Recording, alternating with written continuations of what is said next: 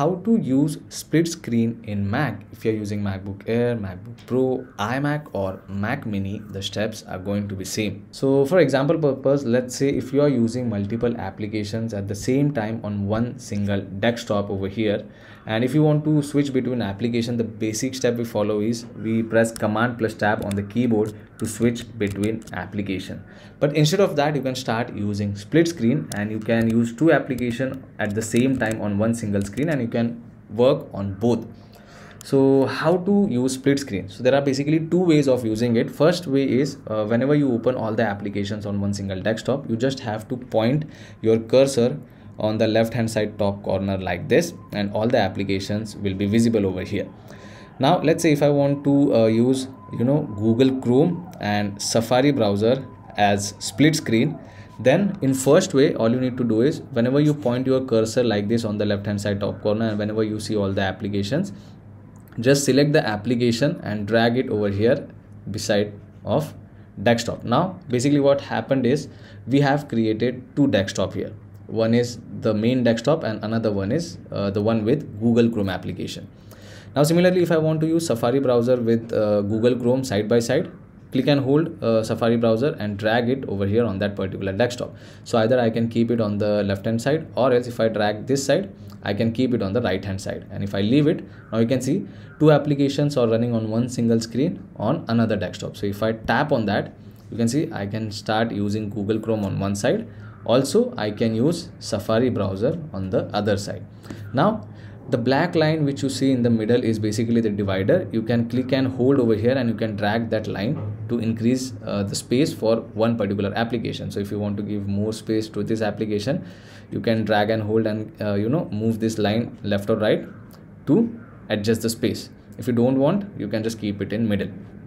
Now how can you exit from split screen? Now there are also two ways of exiting from split screen. Now if you point your cursor like this over here on the menu bar of uh, you know uh, safari browser or let's say uh, if i point my cursor over here like this you can see.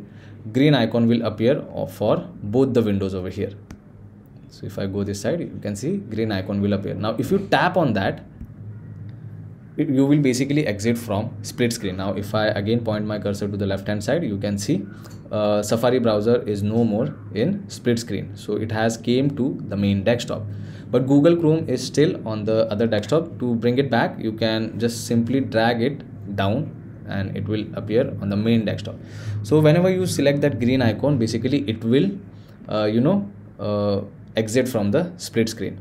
Now the another way of uh, exiting from split screen is whenever you are using split screen just go back to this uh, normal page like this point your cursor to the left hand side and whenever you point over here on other desktop you will get an arrow like option like this. So if you select that basically you will exit from split screen. Now this was the first way of using a split screen option. The another way is uh, now you can see I have opened multiple application once again on one single desktop.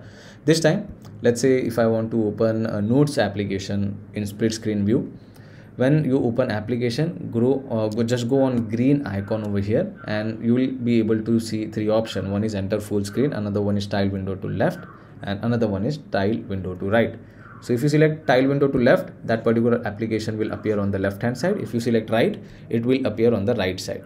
Now on the other hand you can see on the other side the application which supports split screen option will be over here in big form. And the application which does not support split screen it, uh, whenever you point on that app it will show a message like not available in this split view.